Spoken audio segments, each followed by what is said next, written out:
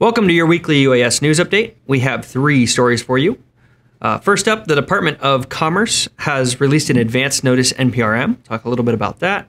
More drone show troubles and more DJI flip leaks.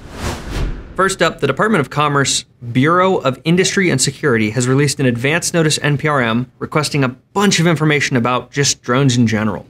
Now, before we get into this, uh, an NPRM, or Notice of Proposed Rulemaking, is a document that comes before an entity, like the FAA or uh, the Department of Commerce in this example, publishes a final rule. In this case, the advanced NPRM doesn't have rules associated with it and is instead seeking industry feedback. The interest in this NPRM is primarily information about communications technology on drones that are specifically manufactured, supplied, owned, or controlled by foreign adversaries, so DJI, Autel. As we're recording this, the NPRM hasn't been released yet, so it may change slightly before you actually see this. So the second today, the third tomorrow is when the NPRM will be released. As written, the NPRM requests information on several topics from manufacturers, large and small scale operators, critical infrastructure inspections, and data management. This means nearly all operators could help to answer some of these questions. Now, we're not going to list all 50 questions here. If you're interested, we're going to leave a link down below.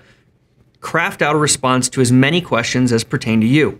Don't discuss things that are not pertinent to the NPRM's questions. If you do, this is going to result in your comment being discarded. They're not even going to read it. Do explain your operation, your position, what do you do, and answer the questions. There's at least one question that most operators here are going to be able to voice an opinion on, and that is what are the potential trade offs of a rule prohibiting the resale or rental in the United States of UAS or UAS components that are designed, developed, manufactured, supplied by persons owned by, controlled by, or subject to the jurisdiction or direction of a foreign adversary?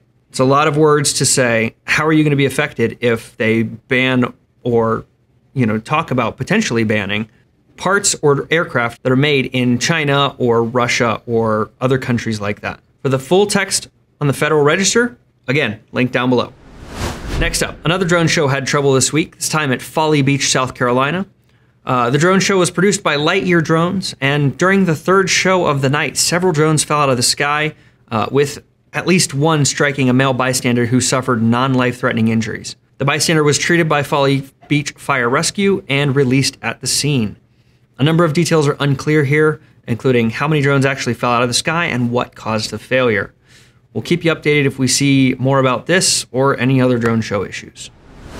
Last up, more images have leaked of the rumored DJI Flip. The Flip appears to have forward-facing LiDAR sensors similar to what we've seen on the Air 3S, uh, batteries that clip in from the back, and potentially even built-in quick shots like the Neo had. Some rumored specs include O4, 1 over 1.3 inch CMOS sensor, so same as the Mini 3, Mini 4 series. Um, 4K 60 frames per second, and about 30 minutes of flight time.